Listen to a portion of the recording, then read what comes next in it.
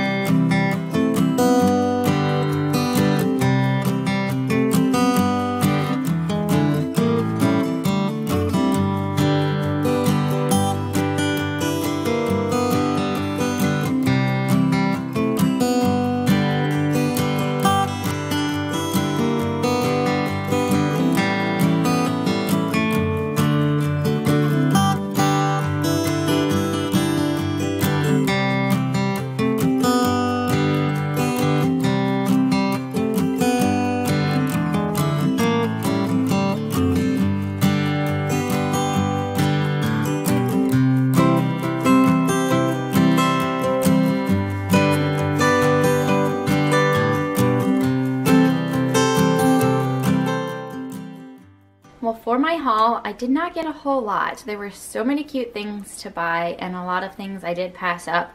But again, as I go through my footage, I always think, oh, I should have picked that up. But let me know in the comments what you would have picked up if I didn't pick it up already.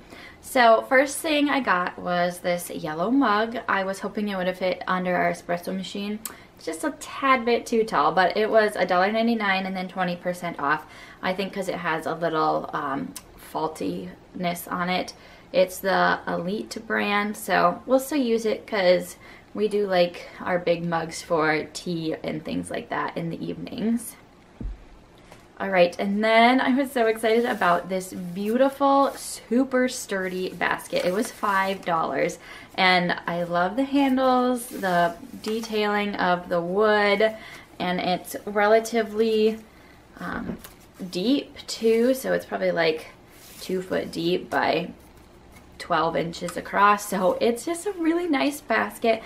Great for holding that winter gear or umbrellas in the spring or to just store laundry for little ones.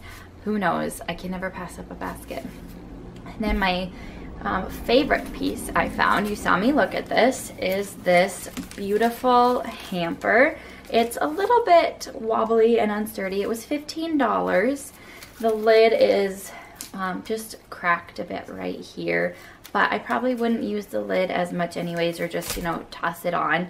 I don't know if I'll use it in our bedroom or for our little fixer-upper that we're gonna do as an Airbnb um, to, for people to put their towels and linens in in the bathroom or something like that. But again I couldn't pass it up and really cute looking baskets. I just I love them so that was for the home decor and then I do resell on Facebook Marketplace mostly. So Under Armour for me has been doing really well. So this is just a men's um, 2X bright green Under Armour shirt. This was in the 50% off booth. So it was $5, not 10 And then this is a Nike women's running um, size small long sleeve. This would honestly fit me, so I haven't listed it yet. I'm not sure, and I have a friend who's an avid runner, who is about my size. So I'm debating on just giving it to her because it was 250 and so I thought I will snag that up because if I don't give it to someone, I will resell. So clothing like that definitely um, does very well for me. That is all I picked up, guys. I know not a big haul, but this was part of that thrift shop hop, so definitely check out the description box for the next person to enjoy their thrifting experiences too. So hope you're having a blessed and wonderful day.